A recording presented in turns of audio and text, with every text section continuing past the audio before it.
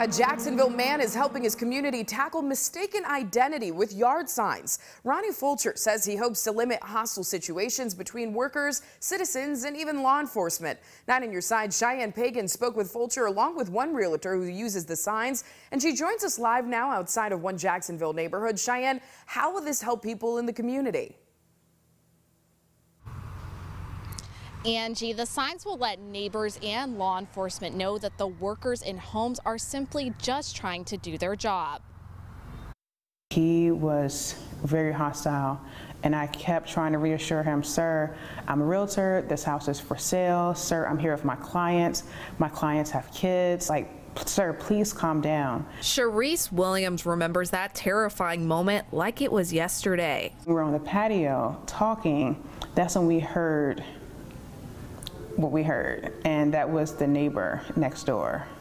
And it was, um, even now when I think about it, I kind of get like, you know, my heart starts to go just a little bit faster. She was showing a house to a family after 7 p.m., which she normally doesn't do, but her clients wanted to see the home. That's when the next door neighbor confronted them, demanding to know why they were there. Finally, finally, finally, he calmed down and he said that, you know, they're a very tight, you know, tight-knit community, which I completely understand. That moment stays with Williams, so much so that when she saw Ronnie Fulcher signs in a realtor Facebook group, she had to have one. I like that they're bright orange, and at the very top it says realtor on duty. So it kind of maybe eases their mind that I'm just there doing my job once again. So, you know, and I, I think it's a pretty cool, a super cool idea. I mean, that's the best part though, just helping people, trying to avoid interaction that's not needed you know, just, just helping everybody does. That's just the way to go, though. He hopes that not only will this help with interactions between neighbors and workers,